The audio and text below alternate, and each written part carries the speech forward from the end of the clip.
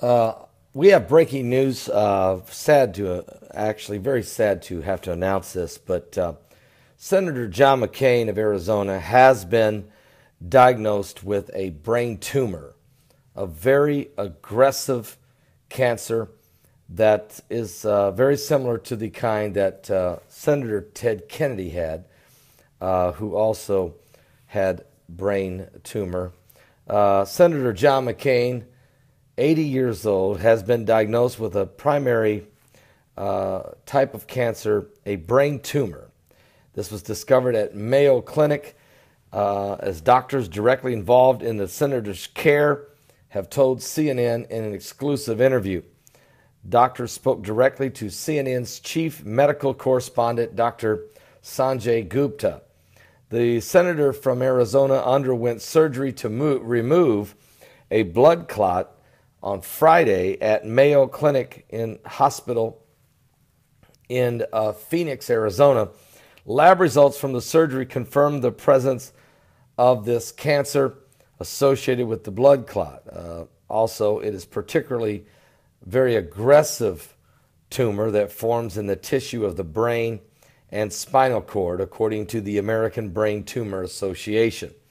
A pathologist was in the operating room during the procedure, uh, and minimally inv- invasive craniotomy with the eyebrow uh, incision, said his doctor, who added that the surgery lasted about three or four hours.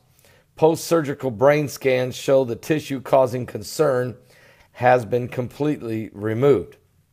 McCain is recovering amazingly well, and according to the statement from his office, the senator showed no neuro, neurology, uh, any kind of problems neuro, from his uh, brain before or after the operation, according to his doctors. And though not identified by name at McCain's request, his doctors were given permission to speak with CNN's Dr.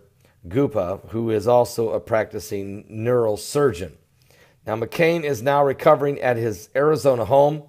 He and his family are considering treatment options, which will likely include radiation and chemotherapy. The news of my father's illness has affected every one of us in the McCain family, tweeted Meghan McCain. I, it won't surprise you to learn that in all of this, the one who is the most confident and calm is my father, John McCain.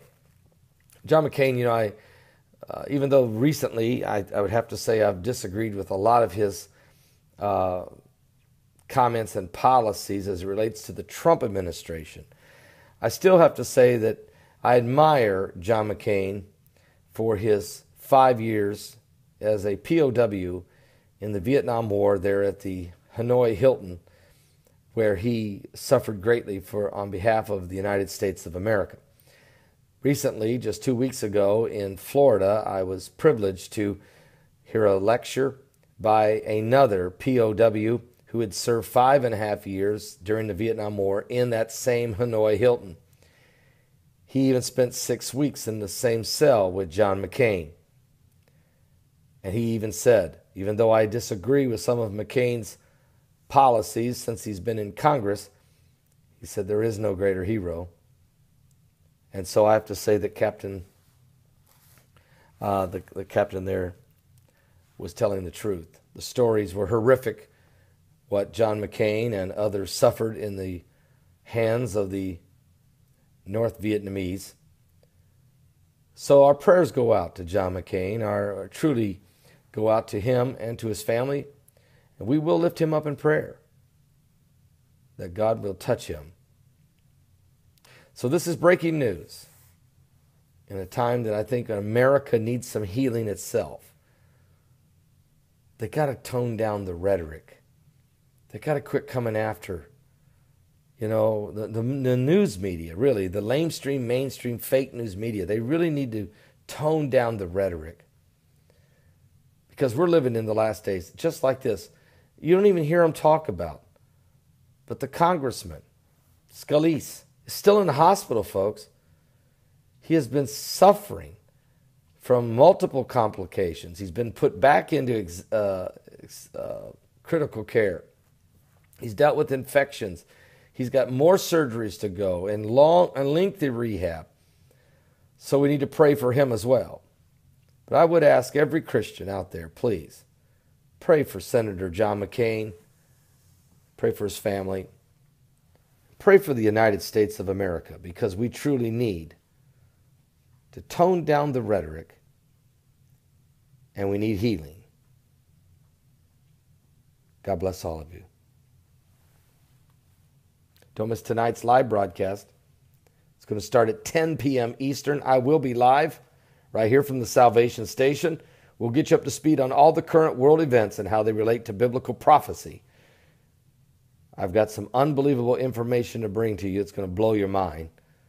And so I'll see you at 10 p.m. Eastern with Primetime Live, Paul Begley, at 10 p.m. Eastern at my website at www.paulbegleyprophecy.com also on Roku satellite television, new live stream, uh, and also on my website and YouTube Live. Also, Periscope will be live there as well. God bless.